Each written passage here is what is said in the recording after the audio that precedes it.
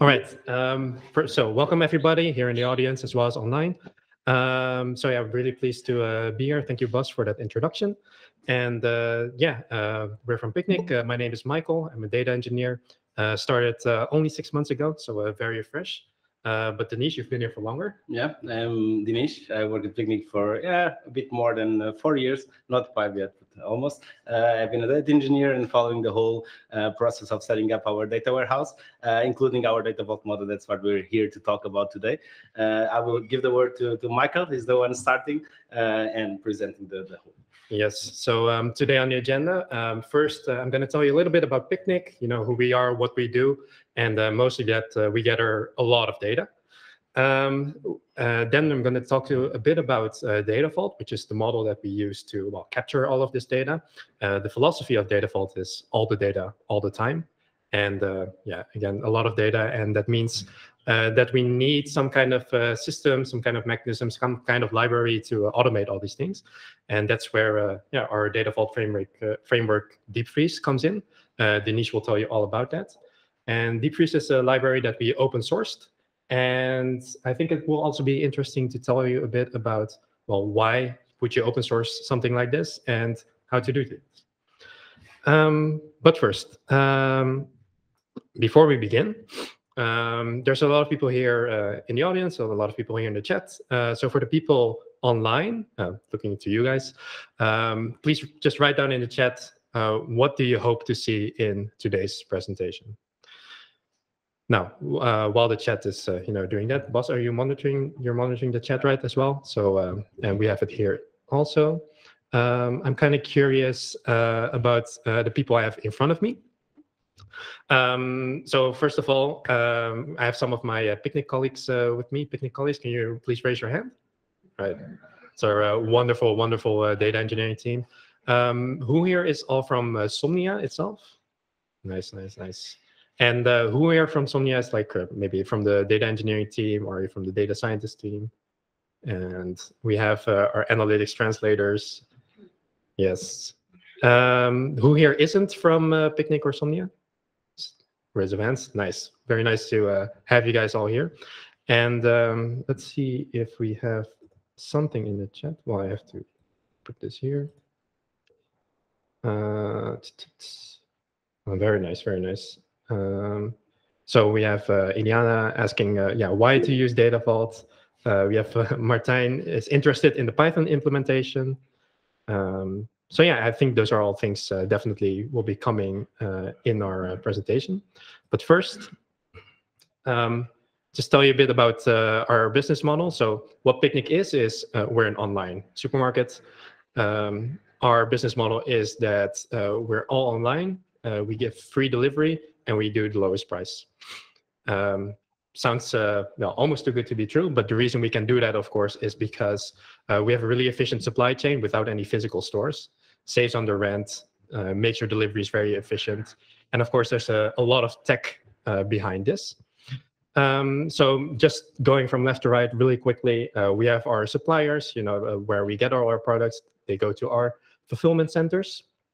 Uh, from our fulfillment centers, we go into distribution and we put them in our uh, cute little electrical vehicles, and they deliver them to all of the homes, yeah, that's ordered something. Um, so uh, question to you is also you in the chat. Um, what data do you think we gather? I want you to just uh, yeah shout it out, and then I'll say whether or not we do gather it. Um, so starting from the back there, uh, per person data. What kind of person data? I think. Uh, where they live. Yes. So address is of course kind of necessary if you uh, do a delivery. So yeah, we gather that. Uh, anything, uh, anyone else? Okay, next down the line. Uh, we're going one row in the front. Uh, what, what kind of data do you think we gather? From the vehicles that you deliver with. All right, and uh, what what kind of? Uh, so like routes, but also sensory data. Yeah, definitely. We uh, gather. Uh, we have some GPS sensors. Uh, no GPS, and we still have the G-force. Uh, also telemetry. telemetry, yeah. things like that. Um, yeah, we gather all of that. Um, what else uh, do you think we gather?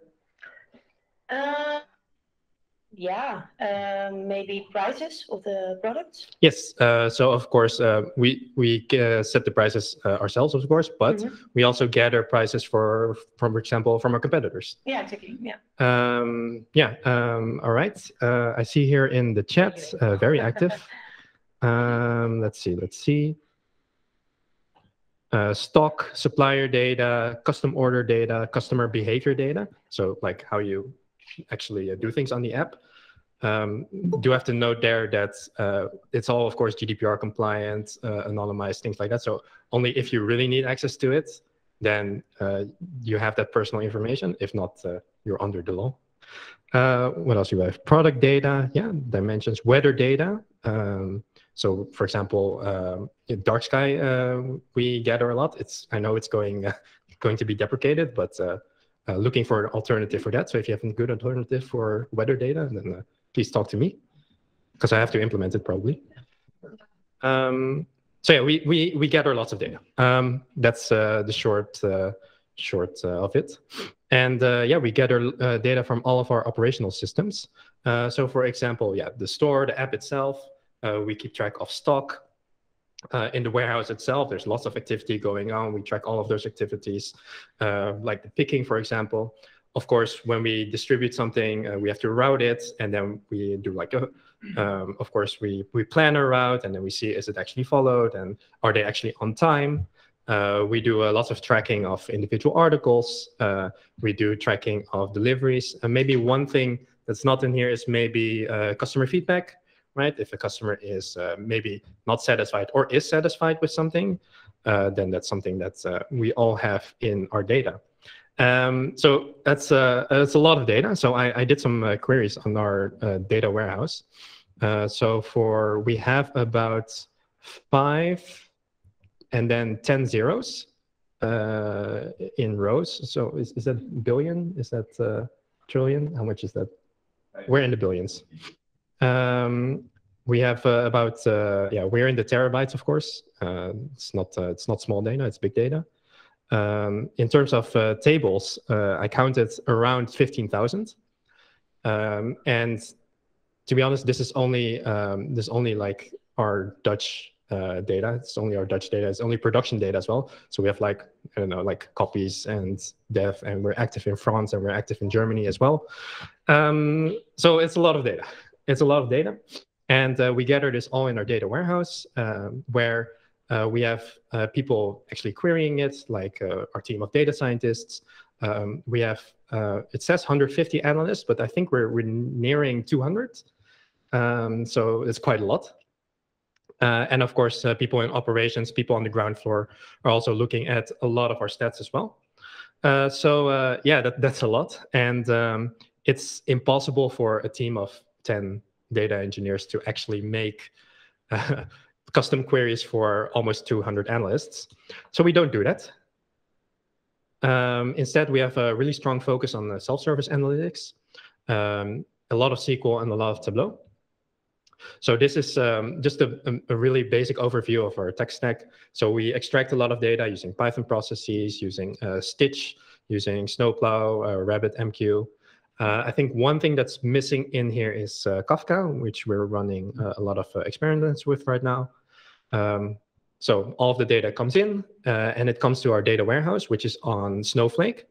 Uh, which is uh, yeah basically a, a big database uh, specifically for data warehousing. You can query it using SQL, and that's where our actually a lot of our analysts use SQL themselves to query our data warehouse. Uh, which is quite unique because uh, our analysts are uh, are pretty good at SQL, and that's I think I haven't seen that anywhere yet. Um, and we use that SQL, of course, to put something in some kind of Tableau dashboard, maybe some kind of Slack report, um, maybe something else. Um, and all of this underneath is orchestrated uh, using Kubernetes. We use a lot of Travis. Maybe uh, we're going to migrate to TeamCity. Uh, lots of Python, Argo for our workflows. Of course, everything is uh, on GitHub. Um, so yeah, uh, again, strong focus on self-service analytics to actually service our almost 200 analysts. Um, so they can do it ourselves, so we don't have to. Um, so today we're going to talk about uh, Diepvries and data vault, and that lives inside of uh, this part of the um, yeah of our flow. Um, so we're going to zoom in. Uh, so what actually live? Uh, what does our data warehouse actually look like? Um, so um, our data warehouse, asterisk, extremely simplified, uh, looks like this. Um, so we have our operational systems. Again, you know, the App Store, our warehouse management system, uh, our routing system um, produces a lot of data. Uh, it goes into our data warehouse and we model that data using Data Vault. And this is what we call Data Vault in the backend. Then we transform that uh, Data Vault model into a Kimball dimensional model. And this is what the analysts actually query. Um, I see my network, uh, my network verbinding is verbroken.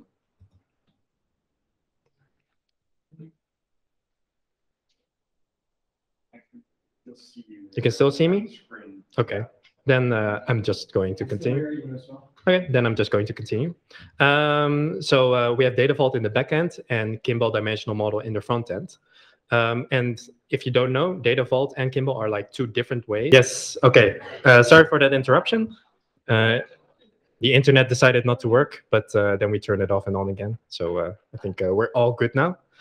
Um, let's see.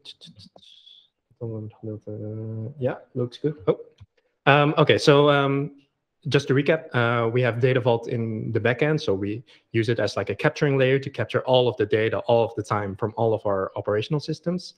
Uh, then we transform that from a Data Vault model to a Kimball dimensional model. And that's what the analysts actually query. And so the question uh, that I posed is like, okay, why would you do this? Why would you have two different kinds of data models? Um, of course, everything has a trade-off, and so does Data Vault. Um, so uh, Data Vault has uh, lots of pros. Uh, so the major pros are that it's very flexible and easy to adapt to changing business requirements. And uh, as you all know, business changes all the time. Uh, it uh, changes from week to week, and one week they they they think of something new and they want to implement something new, and we need to load in some new data.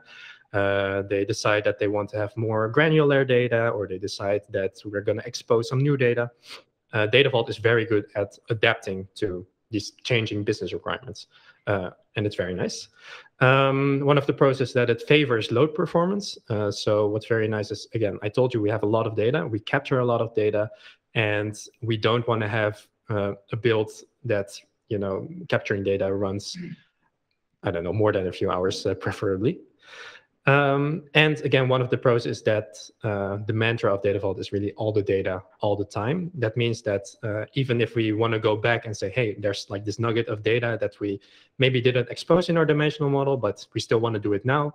Um, hey, we have it uh, in a like in somewhere in our history, and that, that's very uh, that's very nice. Keeps us very flexible. Downsides is is that it's very hard uh, to query um, there's uh, many, many joins and many, many things that you need to know about the model itself in order to use it. Um, there's also some effort in that modeling and uh, also not very handy is that the read performance is not so high. Uh, so if you have 200 analysts all uh, typing in uh, queries for data vault, um, you're not going to have a good time. Um, but a lot of these cons are mitigated with if you actually use a dimensional model on top of Data Vault, which is then easier to query, has some better read performance. Um, of course, uh, it costs some effort from the data engineers and it costs some, maybe some storage, some computing power. Um, but we still like it. Uh, we keep doing it and uh, it's, uh, yeah, it, it works for us.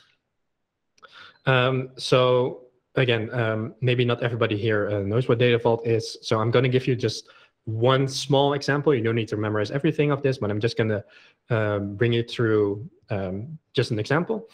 Um, because uh, what's very nice is that we have, um, what's nice about data vault is that it can unify the same concept from different systems. Um, so if you think of an order that someone makes on the app, uh, an order means something different for the people that run the app store and it means something different for the people that run the warehouse management system, and it means something different for the people that run the delivery system. For example, if you're uh, you know part of the app team, for example, an order means like, oh, a customer ordered something and payment is very important, things like that. If you're in the warehouse um, system, then it's important like, oh, do I have this in stock? Do I need to order this? And if you're part of the delivery system, you're more concerned with, okay, uh, what's the address? What kind of route can I make? Uh, what's optimal here?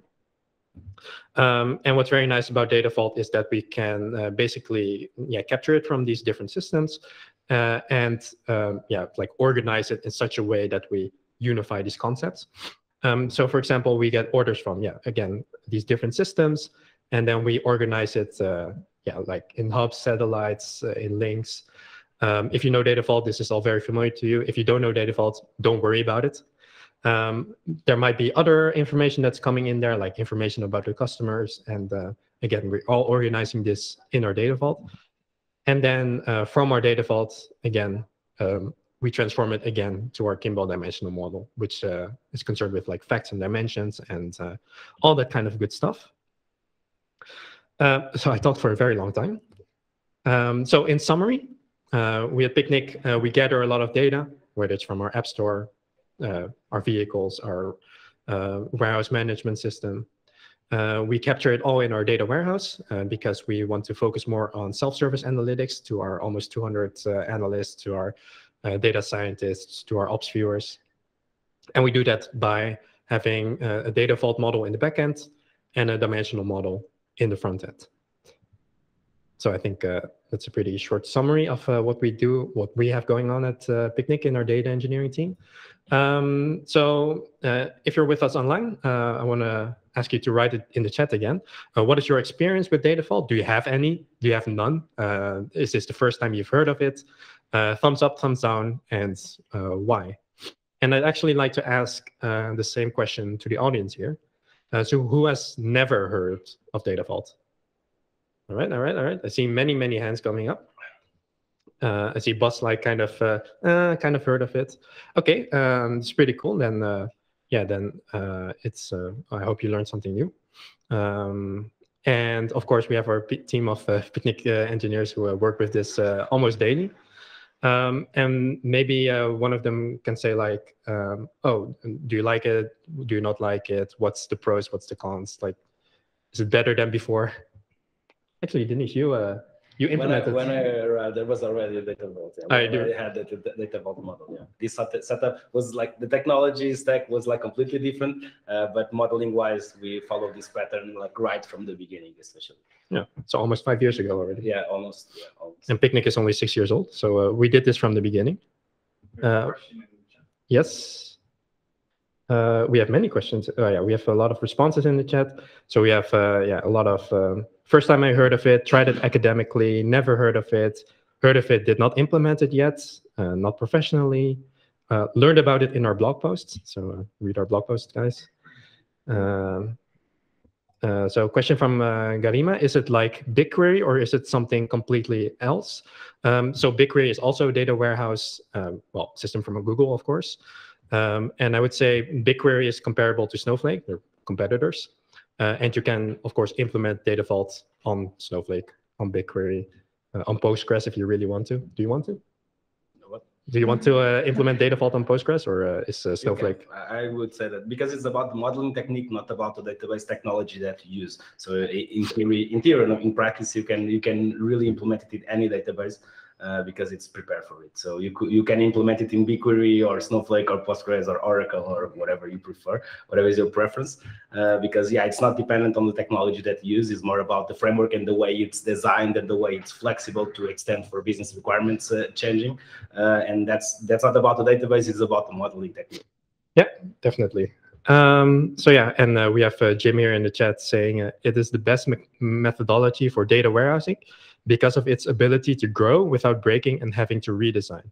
Yeah, that's uh, that's definitely true. That's the major uh, the major pro uh, of Data Vault is really adapting to changing business needs uh, without having to like refactor everything. Um, so that's pretty cool.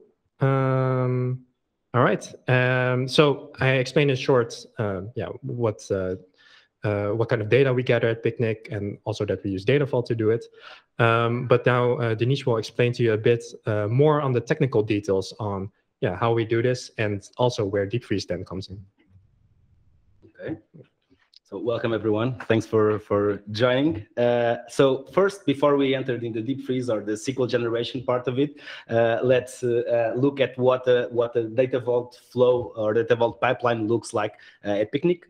Uh, I can start by saying that all of this is automated in our pipeline. Today we are focusing on uh, one specific part, but uh, so our flow essentially starts by parsing some configuration. You always have to configure something in your model. Uh, then we have to, under to understand uh, from which point in time we want to fetch our data. So essentially we, we uh, data vault in general, but like most of our processes are based on incremental loads. So we have to have a change data capture strategy to understand from which point in time we want to fetch the data.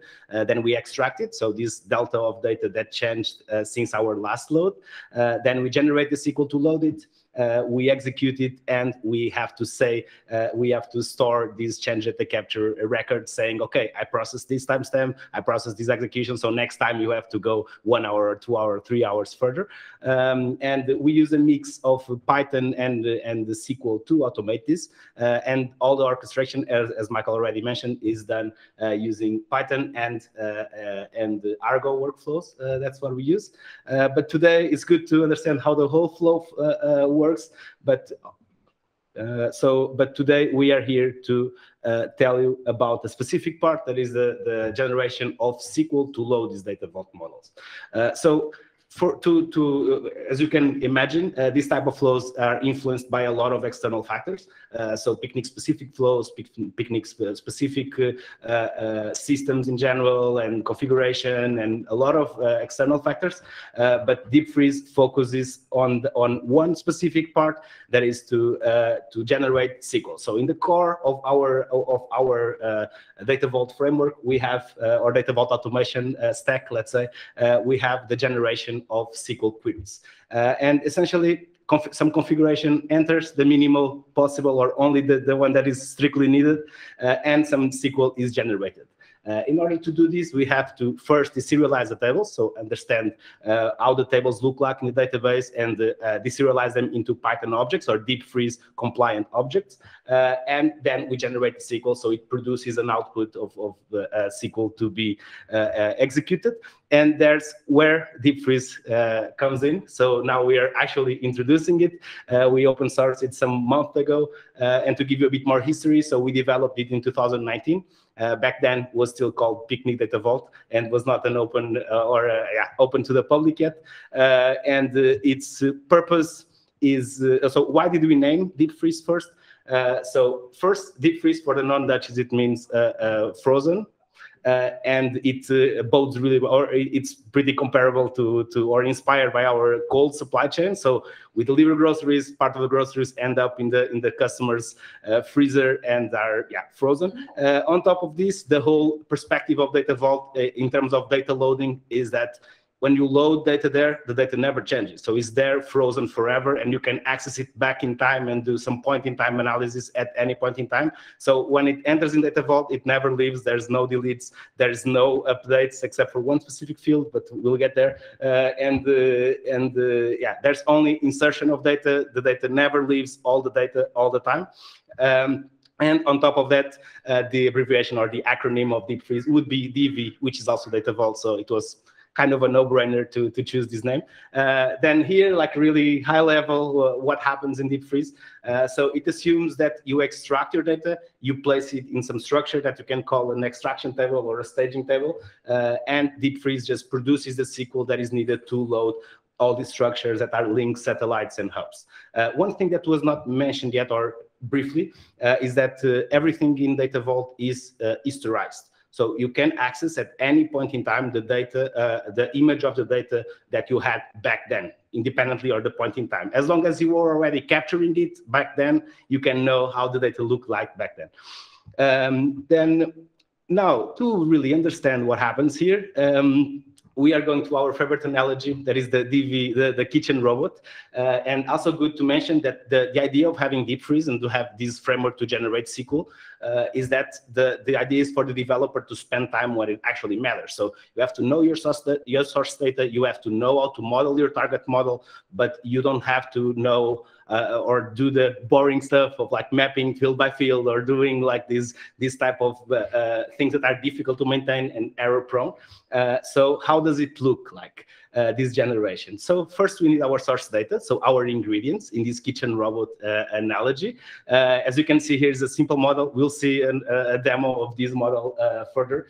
Uh, but yeah, just some orders, so some details about the order, some creation timestamp, some order status, and the customer that placed the order and the order itself. So this is our source data, let's say, and our source structure. Uh, then we have the mm, mm, mm. Okay, uh, then we have the, the configuration. So we have to know when did the extraction start, what is what is our source data stored, uh, what is our the name of our source, and other information that is the, only what is strictly needed, uh, essentially. So we have to configure, it. we have to have the recipe to produce the data. Uh, and then what Diepvries does is essentially to cook it and generate SQL. Uh, the SQL execution is in this diagram, but is not executed by, uh, by Diepvries, but this is the whole idea um, of it.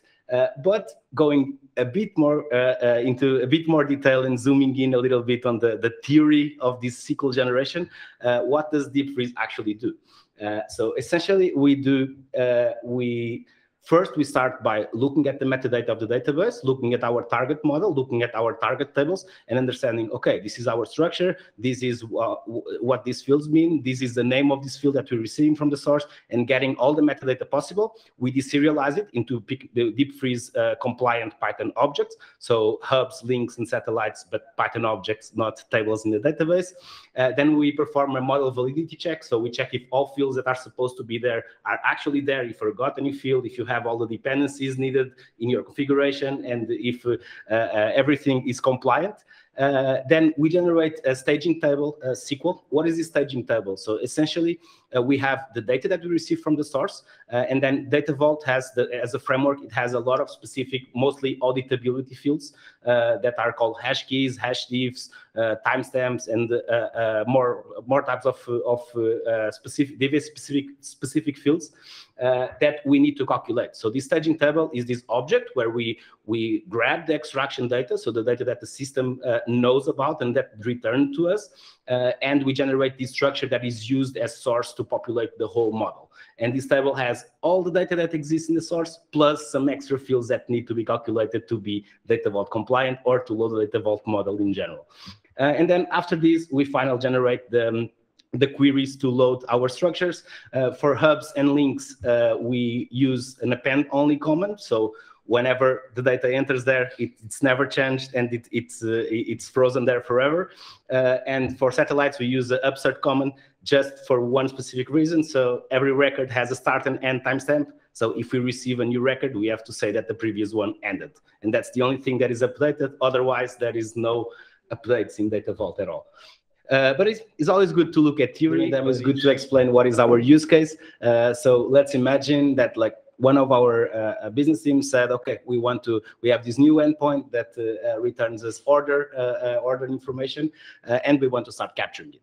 So the first thing that the developer has to do is to know its source. Uh, in this case, we are not looking at any endpoint, but we are kind of faking our data. Uh, so let's say that this endpoint returns just an order, uh, the customer that placed the order, and some details about the order, in this case, the, the creation timestamp and the status of the order then now that we know our that we know our model uh, the next step is to the design uh, how it looks like in a data vault model um, so essentially we are going to have uh, uh, two hubs. So hubs is where the, the IDs of entities are stored. So a, a hub a customer has one row per customer, uh, order as one row per order. Uh, then we will have an order satellite. That's where the status and the creation timestamp will be stored historically.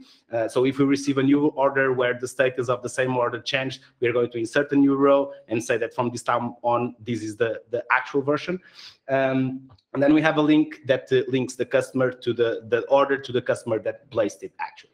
Uh, so as you can see here, like the four fields that we receive from the source are transformed into a lot of fields in the Data Vault model. A lot of these fields are auditability fields, uh, but um, that's essentially it. So we, we have two hubs, uh, one satellite and one link. Um, then the tables are freshly uh, freshly created. Uh, so we will uh, we will have to uh, have a look at them in a bit. So it's difficult to synchronize my speaking with the with the, the demo. but um, so we will create our data vault model first. uh, because it's already it was already reviewed by all our colleagues and it's already approved and uh, it's it's already good to go. Uh, now we will check our tables. All of them all of them are, are empty because they were just freshly created. Uh, let's imagine this is the first time that we captured an order or a customer in our system uh, that are there for a lot of years. But uh, yeah, let's imagine that is the first time. now what we have to do afterwards is to run our extraction process. In this case, our extraction process is essentially creating a table and inserting dummy data there. in an actual process, this would be a flow that fetch data usually from an endpoint and loads into loads it into this extraction table. Uh, so now we are good to go. We have data in our extraction table, and we want to tell Diepvries, okay, can you give me the SQL to load this to load this this model? Uh, and Diepvries will do so. Uh, let's have a look at how. Um, in the Python code. Uh, so first, this uh, for the purpose of this uh, demo, uh, we are going to create a new SQL file that is that has the queries to load our data vault model uh, to an output path. So that's this first uh, constant of the code. then what do we have to provide? So the first thing that we have to provide is to tell Diepvries how to connect to the database. So essentially, what is the user, what is the database, and every property to perform a configuration or to, to connect to Snowflake. Uh, then we need to provide the Snowflake deserializer. So this is the object that interprets the metadata of the tables from the database uh, metadata and creates Diepvries compliant uh, Python objects. In this case, we will have two hubs, one satellite and one link, as I already said before. Uh, and the only thing that we need to provide is what is the schema where we should fetch the metadata from and uh, what is the database configuration to access it. Uh, then the most important object is the data vault load. So this is the actual object where the orchestration and generation of SQL uh, actually happens. Um, and what do we need to provide? So first we need to provide what is the extraction table and the extraction schema. So the one that we just populated because we just ran our extraction process. Uh, then we need to provide what is the staging schema and the staging table, uh, staging table name.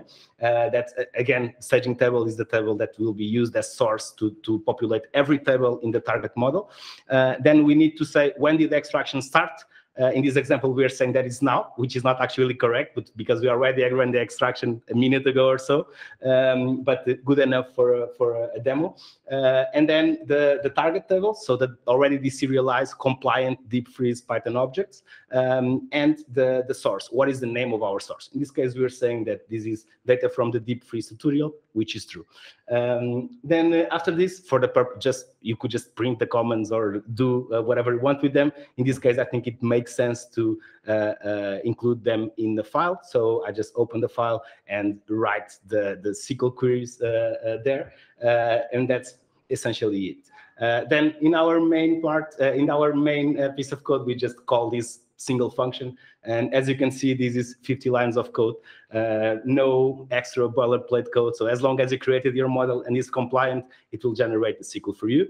Um, then, uh, yeah, so the code already ran. We already have a, a SQL script to, uh, to load our model. And uh, as I said before, first thing that is done is to is creating this staging table. As you can see there, uh, this table doesn't have only the fields that were in the extraction table, but it has these extra fields called hash keys, hash diffs uh, that are applicable for essentially every data vault table. Um, and uh, um, this is what is in this staging table. This staging table will then be used as source to all the tables in the target model. Uh, then afterwards, we start loading the hubs. So first we fill in the backbone of our model that are the hubs, the entities, and the links, the relationship between entities. Um, so we, we first started by the customer, could be the order, doesn't matter. We just went alphabetically in general, or the framework just goes uh, alphabetically. As you can see there, we run an append only comment. So the data enters there, uh, with that timestamp and it never leaves and it always stays the same. Uh, same goes for links. So we use actually we actually use merge comments, but uh, it, they, these only insert data uh, essentially, and then afterwards we go for the satellites. Uh, the queries for satellites are slightly more complex, uh, also because we have to uh, consider that, okay, we have a new version, we have to add a new row to the table, but then we cannot leave do, two versions open at the same time. So we have to say that the, the end timestamp of the previous version, now it's updated and the new version was inserted. And that's what you can see in this part of the query. So if uh, the version already exists, that timestamp for that order already exists, we update the timestamp end of that version. Otherwise, we insert a new row uh, into the into the target table. And this is essentially what happens. As you could see, uh, there was no time spent on mapping field by field or creating this boilerplate code that uh, uh, that can be a real pain to, to maintain, and all the copy pasting of SQL that would be uh, really hassle, uh, and that can generate bugs. A lot of that a lot of a lot of times are difficult to to debug and to really understand what is happening. Um, and uh, in this case, it was pretty simple. Uh, now we are going to run uh, the, the code just to check that it runs and uh, uh populating our tables. Uh, it will actually be a slightly slightly slow because uh, because when I when I recorded my internet was not the best, so it will be too slow for four rows. But this is not the the, the normal the the normal yeah time for it to load, of course. Um, so we have to wait a little bit. And uh, yeah, so it will load the target tables. Afterwards, we can check our output and that the tables actually have data. Um, let's wait a little bit for it. So everything is loaded now. Uh, let's do a final check on the data in a bit. in a bit, in a bit. Okay. Uh, so now we should have two rows in the in the customer table because the four orders were placed by only two customers. Uh, then four rows in the order hub uh, and uh, four rows also in the, the satellite of the table because we only did one load. There is not multiple versions of the same order in this table. Uh, and finally, four relationships between an order and the customer, which we'll get there. Uh, in the satellite, this is also important. As you can see, we have the details of the order there. In this case, the creation timestamp and the, the status. Uh, and here we have the four relationships between a customer and an order, essentially. Uh, and this is pretty much our demo on how it works. Uh, this does not show our whole pipeline because in this case we want to uh, highlight specifically uh, Diepvries. Uh, so we went for the uh, we went for this uh, simulation of dummy data in our extraction table, but I think it can give a good idea on how it works. Um, now let's proceed to a little bit of uh, theory or uh, at least the philosophy of of Diepvries. Now that we saw theory of the SQL generation and the practice and see it actually running, let's talk about about the the philo a little bit about the philosophy of, of Diepvries. Uh, so the first point is, is restricted uh, scope. So the idea is for this framework to generate SQL. That's it. It just has to generate good SQL and and do it properly and to be and to be uh, efficient doing so. Uh, and uh, the second one is as you as you saw and I uh, as I also presented during uh, during the whole presentation, uh, convention over configuration. So the, the, the SQL is generated based on the model that you already have in your database. you don't have to do you don't have to do any like you have to do the minimal uh, boilerplate uh, uh, code possible, and so it's you only provide the configuration that is strictly needed, essentially.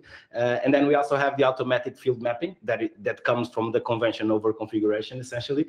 so we don't have to be mapping field by field and to transform these four fields into these four tables with I don't know 20 fields or so, which can be a real pain to to maintain.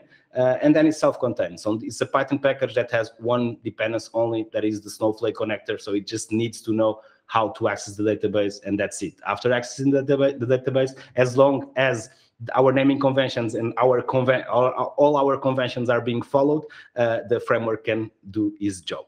Its job. Uh, now I will I will uh, uh, give the word to uh, Michael again, uh, and he will proceed with the next steps. Yes, uh, thank you very much, Dinis. Um, so yeah, really, um, really, to be honest, the sequel that Diepvries just showed, I actually didn't see it until I worked like I don't know four months or five months into Picnic, even though I was like designing data vault models because uh, yeah it's just very complicated lots of uh, things that can go wrong and uh, i didn't need to think about it. So uh, thank you uh, for that. Um, so um, yeah what's next for uh, Diepvries Um, so Diepvries is out there. You can go on GitHub, you can download it, you can play around it uh, with it. Um, uh, but uh, our main goal for uh, yeah, what's next for Diepvries is to really make it more usable by others. Uh, and one of the main things is, for example, adding support for other databases. Um, so like Dinis just said, the only dependency is that it needs to know about your database. Makes sense. Uh, and in our case, we use uh, Snowflake, uh, but we can imagine that, hey, maybe you have something else um, using in your company. Um, so you can add, uh, we want to add more support for, let's say, a Postgres database, a SQLite database, things like that. Um, of course, with more databases comes more uh, things like integration tests. Uh, so we would probably have to do that as well. Uh, and um, the SQL that we generate uh, is good, it's correct. Um, but the way we do it uh, might be, uh, there might be a better way, uh, at least better than string formatting. So if you know a better way, please talk to me, put it in the chat. Uh, would love to hear on it. And of course, no promises on the ETA because yeah, we're all busy people and we love this. we we really like yeah putting it out there. Um, so I have kind of a question for you. Um, like, have you ever contributed to open source? And I'm really curious, uh, please uh, put it in the chat as well. Um, so uh, anyone, anyone, like uh, anyone ever contributed to open source? Uh, Dinis, of course. Uh, Matthieu, what, uh, you have the box? The, the Debian operating system? Oh, the Debian operating system. That's, that's very impressive. What, what was it like a small pull request, big pull request? What did you do? A small project within Debian, of course. Okay, okay. Very cool, very cool. see it. I saw the phrase, of course. Yes, yes. Uh, so in the back, uh, so one more hand. Um, Apache Airflow, Apache Airflow. Nice. What did you, what did, how did you Uh, contribute? an SFTP uh, sensor and operator to fetch um, more uh, data. Hmm. Uh, not just the single one, but more. Okay. Uh, so yeah. Is that like in a batch way or like, like a bigger, Yeah, it's for capturing with the regular expression and uh, it matches uh, Right, the, right, the right. data that you want in an SFTP server. very cool, very cool. Uh, can I ask uh, what motivated you to do that? I needed it. You needed it? Yeah. Yeah. And then you were like, uh, I'm going to share it uh, with the rest, uh, have it reviewed by other people as well. Yeah, this is very nice. It's very nice. Uh, so we have some uh, comments in the chat. Uh, uh, we have uh, May Stoker to the SQLFluff uh, repository. Very interesting. We use that as well. Uh, I think we started using it two two months ago, something three months. And and we also could uh, uh, we contributed. Matthieu made a PR. I made a PR.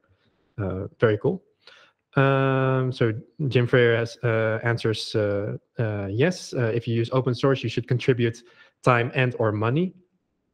Um, and yeah, I, I- really think that's um, that, that's pretty true because um, you know we all use open source all the time, uh, whether it's your operating system or your Python libraries or what have you, um, and it's really cool to uh, contribute. So um, yeah, that's actually um, what the next slide is about, uh, which is like why would we open source uh, this part of our yeah process. Um, so uh, not gonna mince any words. It's also a very nice marketing tool. It gets you many likes on LinkedIn, and it's very easy to give talks about it, such as here. Um, and uh, yeah, that, that it, it is actually very nice to be able to talk so openly about uh, such a pretty essential part of our process, um, because uh, we do think it's cool, and we do think that it's nice to put it out in the public. But if you're going to put it out in the public, you better make sure it's good, because it's going to have a lot of eyes on it. Uh, so I think this also like kind of gives you this motivation to actually build better software, uh, make it uh, reliant, well documented, everything. Uh, and then, as uh, we also just mentioned, um, yeah, just giving back to the community because, um, yeah, it, it does feel good to give back to the community. It does feel good to uh, be able to uh, put something out there, and uh, yeah, maybe people can use it. Um, so those are the reasons why, uh, yeah, you can definitely open source things. And what does it take to actually do this? Um, so it does take quite some work uh, to open source parts of your process. Um, and one of the major things is, of course, that you have to decouple it from your existing systems. It's probably very tied in into your systems. Uh, and you have to make sure that whatever you put out there is not picnic specific, but is applicable to the rest of the world. Um, but this is work, but it's not bad work because uh, decoupling things uh, is good. And in our case, for example, well, right now we use Snowflake. We're very happy with Snowflake.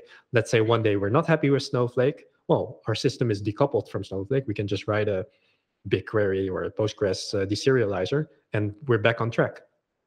Um, another thing you have to do when you go open source is you have to write more documentation. So um, you can go to uh, diepvries.picnic.tech and uh, follow this nice tutorial. Um, but that is some work. But again, writing documentation is not bad work, right? It's it's good for uh, people, for your colleagues. It's good for yourself, like six months down the road when you forgot what you've written. Um, so writing more documentation, yeah, it takes more work to go open source, but it's also good for you. Uh, same again, uh, you have to yeah test more thoroughly. Otherwise, uh, you get uh, very angry eyes on your repository, or maybe nobody trusts your codes because it's not tested. So you have to write more tests, integration tests, uh, especially if they're not, especially tests that are not picnic specific. Um, but again, writing more tests is is never a bad thing, right?